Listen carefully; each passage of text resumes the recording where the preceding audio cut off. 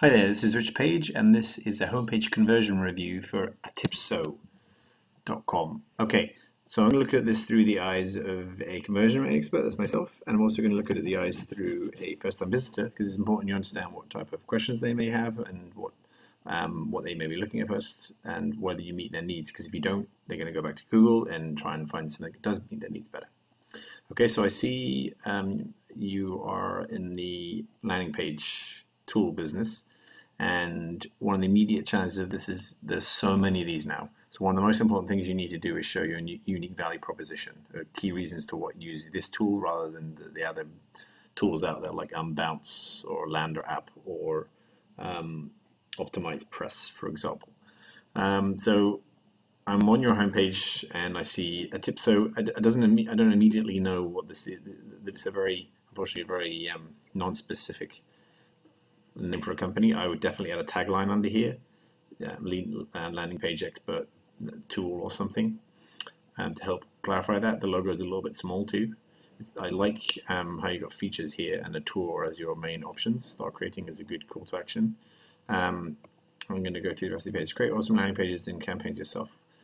As a headline, I think um, it, you need to be a bit more impressive because someone that's likely to be looking at landing pages is going to be looking at many of these offerings. And this this this doesn't really do you any justice.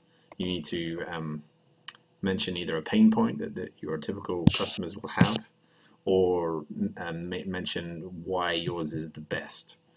Um, what features, what benefits that you have that others don't. Okay, I don't know what those are, for example. The easiest way to engage your visitors. That this doesn't seem very appealing at all and very vague. And you don't want to engage with visitors, you really want to convert them. So that's what someone's going to want to do with a landing page tool or to convert them into a lead or, or a sale. Um, I, I, like this uh, visual of the uh, in action. You can't see the rest of it. The guy's cut off, so you might want to resize this a bit better. But I guess it's good that it um, focuses on this Let's go continue scrolling down. Sp create spread engage. as the way you bring your campaign to life. Hmm. It seems spread seems a strange one. Um, it almost looks to me that reading this is that you do more than just have a landing page tool. So that needs clarifying for for business. That's the way you make your for marketers for agencies. These two, there's a fine line between these two, which you're probably going to have challenges with. Often marketers are at a business, and often businesses use marketers, obviously. So that's immediately causing some conflict there. That's the way you make your marketing campaign for your business more successful. Which way? This seems a bit confusing. Content creation in the blink of an eye marketers. APIs come into web systems. This doesn't seem very, this seems more of a technical thing. Um, for agencies, check our prices, just a few clicks, drag and drop, page six forms. You, you need to, like, this stuff needs to be below this stuff. You need to show exactly what your tool does first, and then talk about who it's who the, who it's for. You can kind of highlight this above. Um, I'm going to continue exit intent pop-ups. Okay, publishing channel. Let's go. Connect content. Cross media marketing can be that easy. Come on, you're different. This seems a bit vague. I don't really understand this, to be honest. Cross media marketing can be there easy it doesn't really say that your tool does this. It just says combine your content from different sources and spread them through. What's the benefit? And you don't mention the benefit of doing that. Spread content.